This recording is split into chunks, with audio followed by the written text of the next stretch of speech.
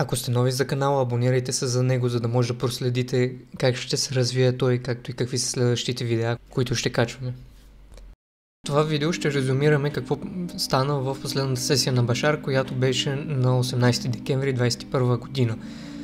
На български името се превежда като огледалце, огледалце отражения и в нея Башар говори за едно упражнение, което ще ни помогне да бъдем по-открити, честни и прозрачни към себе си като за разлика от другите сесии, тук той само споменава, че ще представи какво е упражнението в края на сесията, когато е времето за медитациите. В началото казва само няколко думи за това упражнение, за да ни запознае с какво ще бъде то и оттам насетне минава почти веднага към въпросите, които имат хората. Ако не знаете кой е Башар, може да проверите кратката информация, която е описана в вебсайтът практикообразно.com или да изгледате видеото, което е прикачено като отметка в горния десен ъгъл на това видео. Линк към сайта на Башар, както и към самата сесия, ако имате желание да закупите, може да намерите в описанието на видеото. Сесията е само на английски, тъй като нямат представителство в България и за сега никой не превежда сесиите. А ето какво представлява самото упражнение – може лесно да се досетите, че свързва и огледало. Това, което Башар ни съветва е да го правим всеки ден, но по никакъв начин не ни натиска или желая да ни задължава да го правиме всеки ден. Само споменава, че колкото по-редовно го правим, толкова по-добре и неговата препоръка е когато го правим да го правим в рамките на 15 минути.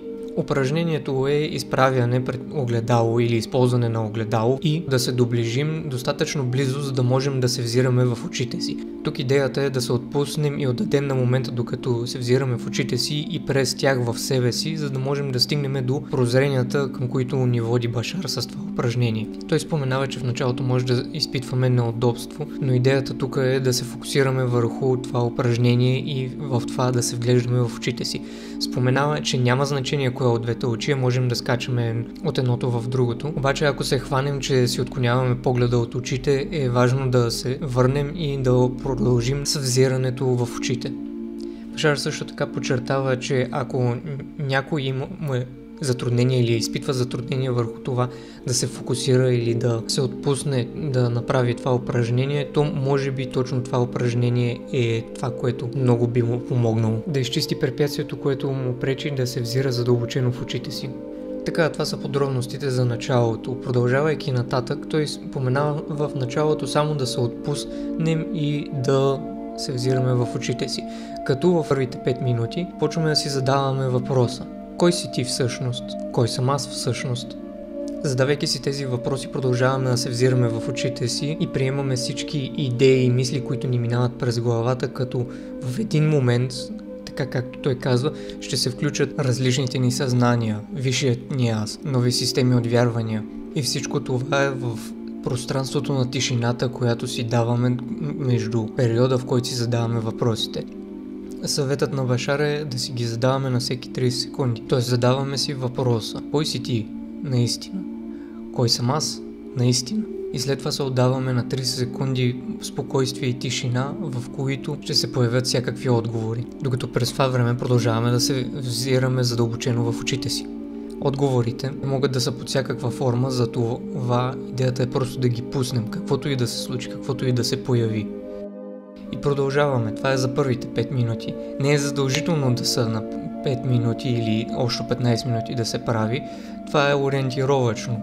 Втората част я поемаме с въпроса Защо си тук? Наистина. Защо аз съм тук? Наистина. И отново се отдаваме на същото пространство на спокойствие и тишина. И отново приемаме всички отговори, които дойдат под каквато и форма да са. След това Башар казва, че може да почнем да чувстваме дискомфорт и това най-вероятно е заради третия въпрос, който е към какво се придържаш, от което нямаш нужда. Към какво се придържам, от което нямам нужда. И така нататък още 5 минути. Башар споменава, че средното време, за което е необходимо мозъка да преустрои невроните ни е около 15 минути, затова не е задължително да е много по-голямо време.